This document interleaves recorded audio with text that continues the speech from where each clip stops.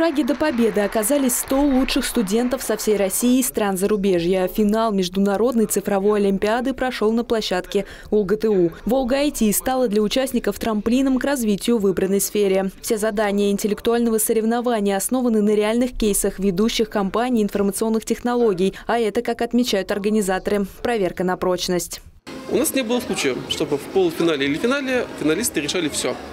А каждый, э, каждый год мы формируем состав дисциплин, исходя из актуальных потребностей на рынке труда, и даем возможность ребятам проверить, насколько они готовы начинать свою трудовую карьеру. Есть и те, кто уже успел проверить теорию на практике. В основном это ученики старших курсов. У них волнение перед финальным этапом меньше. Есть уверенность в своих силах и опыт, который подскажет верное решение. Для студентов помладше это первая Олимпиада подобного масштаба, а тем не менее хорошая база знаний не дает сомневаться в своих способностях.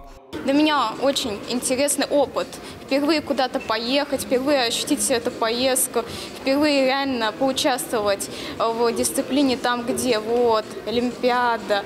Реально какой-то опыт, работа, какое-то соревнование. И если успех дождется, то я могу занять призовое место. У меня уже есть опыт в этом, я уже работаю в этом, уже как 4 года. Думаю, у меня все шансы есть. Для меня шанс получить как какой-то реальный опыт решения задач.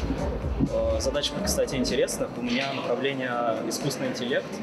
Э, пока что задачи были очень практические и понятно, как их можно в реальном мире применять э, решение этих задач. К слову, это направление включили в перечень заданий в этом году. Искусственный интеллект вошел в учебный план многих вузов страны, среди которых и Ульяновский технический университет, а потому неожиданных сюрпризов при решении задач не предвидится. Студенты уже знакомы с основными алгоритмами новой дисциплины. И мы вместе с одной из наших компаний АИС «Город» сформировали такие задания.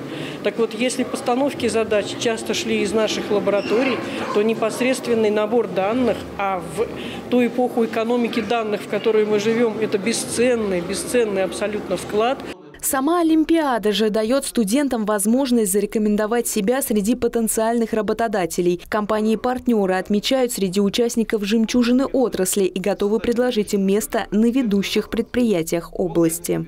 У нас на территории региона таких компаний порядка полутора тысяч, 1480.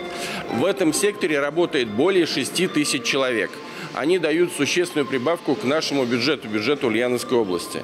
И IT-компании, которые расположены территориально на нашей территории, многие из них получают федеральные льготы.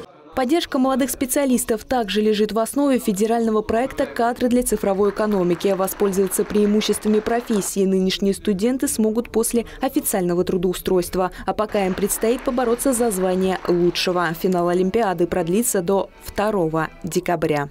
Александра Никитина и Бахтияр Салтанов. Улправда. ТВ.